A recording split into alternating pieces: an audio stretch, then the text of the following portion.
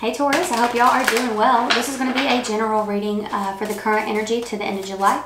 Any information you need, you can find it in the description box down below.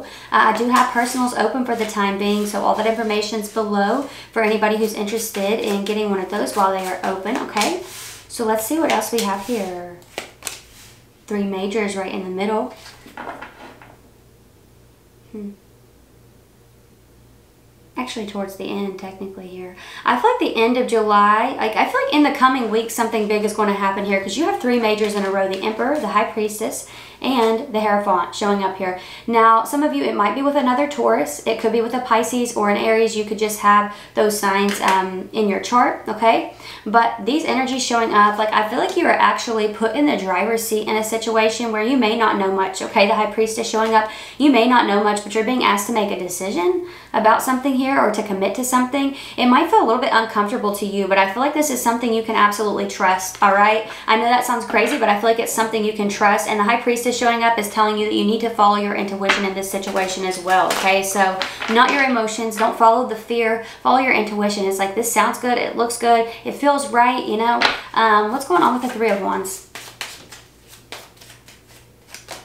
Five of Swords is showing up. Some of you, you're already thinking about, like, you're already thinking about this. You know, it's almost like you're manifesting it without trying. It's something that I feel you're envisioning. And, you know, you're attracting it in as what's happening. But once you get that offer, it's like, is this too good to be true? Is the energy that I'm getting from you here? What's going on here? Some of you could have your moon in Cancer or your moon in Taurus here. Let me open this back up. My app has been closing out and then I have to walk around. And um, when I want to end the video, it's irritating. Anyway, let's see what else we have here. I also feel like there's going to be a Libra who reaches out to you here and you're like reluctant about responding here. Like, it almost seems like you feel like you have to respond to someone. Um, it's odd. Could be a Capricorn or a Gemini for some of you, but it looks like you are, this is someone who's not let go of you or they've not let go of an issue. Some of you, I feel like the reason you think you have to respond is because you're triggered about something here. I feel like they're trying to get at you. I feel like they're trying to trigger you. It's like they'd rather have bad attention and no attention is the energy that I'm sensing here, Taurus. Like, um, and I also feel that they kind of, they're kind of picking up on the fact that you're letting go. You're about to start something very special for yourself. Some of you, you could be meeting someone that you may start a family with or blend families with.